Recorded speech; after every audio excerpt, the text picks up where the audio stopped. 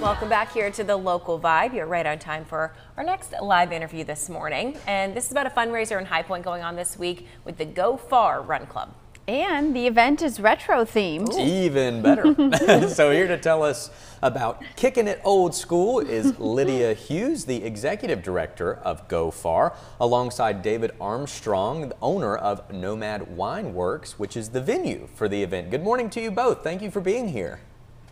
Good morning. you for having us. Sure thing. So Lydia, we'll start with you. Tell us about Go Far's mission and your impact in our area. Yeah, GoFar is a nonprofit here in the Triad. And what we do, our mission is to empower children through our innovative running program so that they can uh, pursue healthy lifestyles and achieve their goals. So, how we do that is we have about 50 different teams in the Triad right now, most of them located in schools. And their coaches will lead them through our curriculum, which is an eight week program. And it trains them, obviously, for this 5K, but all along the way, it's like an experiential learning process for them because they learn all about character development, goal setting, and nutrition. So I say experiential because they get to learn these things at practice. They apply them along the way while they're training for the 5K, apply it on, you know, race day, and then they get to take those things that they learn with them and use them later on down the road in their lives. And it's just it's great to see the impact on kids because like I said, they can take that with the lessons they learn for the rest of their lives. And also, parents can get involved in our program too. So they can come out to our race on November 9th as well. So um, we love that ripple effect in the community to get everyone moving. Yeah, and put that one on your calendars. Lydia, tell us about Thursday's event, though, why you're kicking it old yeah. school.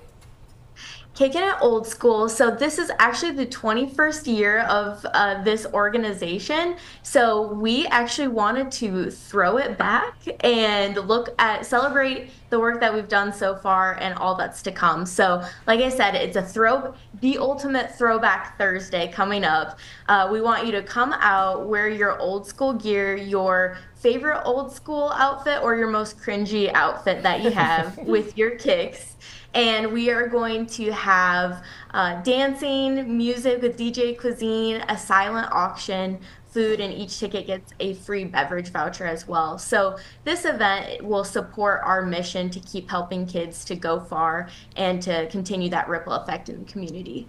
Sounds like a lot of fun.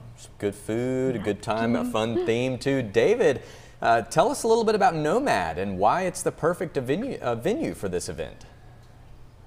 We are an urban winery here uh, in High Point. Uh, we have a very large, spacious uh, tasting room, makes it perfect for doing uh, large events like this. Uh, we've hosted many, many uh, charitable events here. And when they reached out to us about doing the Go Far event, I thought it was perfect. I myself had participated in a few races with my children, and they're really cool uh, you know, bonding experiences. So I was very excited to start working on this project with them. Awesome, David. And being a business owner and, you know, also having a passion for philanthropy and supporting these organizations, how important is it just to kind of be together as a community to hold events like this?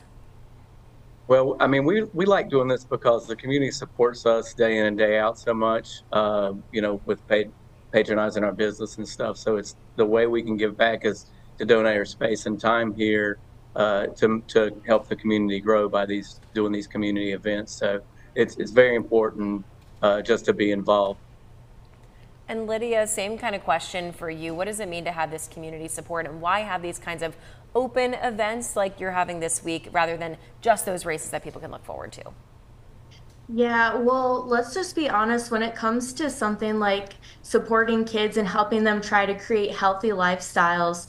Uh, it really takes, it's an all hands on effort. So, having people in the community like David show that support, and we're hosting a place where we can celebrate and fundraise to support our mission, but also just get more people connected to what we do.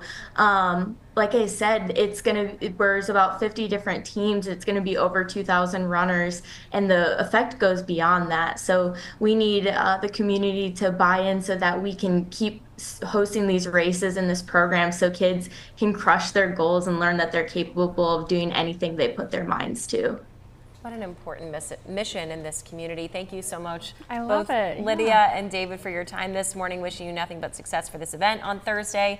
Everyone at home, that is the Kicking It at Old School for Go Far on Thursday, starting at 5:30 at Nomad Wine Works. They're on North Wrenn Street in High Point. You can get tickets at gofarclub.org. We're also going to have all this information posted on our website later on this morning.